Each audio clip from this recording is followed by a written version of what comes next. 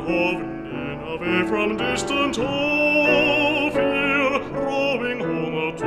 haven in a sunny Palestine, with a cargo of ivory and apes and peacocks, sandalwood and cedarwood and sweet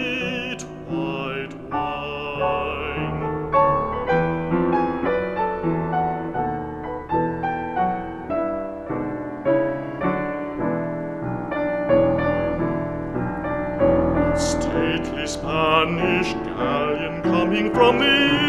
isthmus, dipping through the tropics by the palm green shores, with a cargo of diamonds, emeralds, amethysts, topazes, and cinnamon,